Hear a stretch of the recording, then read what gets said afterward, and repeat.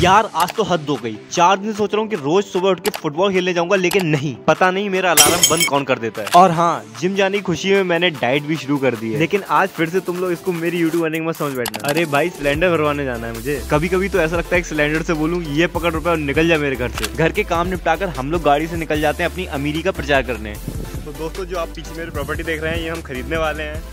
मज़ाक कर रहा हूँ दोस्तों, ये हम ऑलरेडी खरीद चुके हैं। अमीरी की एक्टिंग करने के बाद हम लोग पहुँच जाते हैं जिम जहाँ पर हम लोग ज़िंदगी में मेहनत करने की कोशिश करते हैं।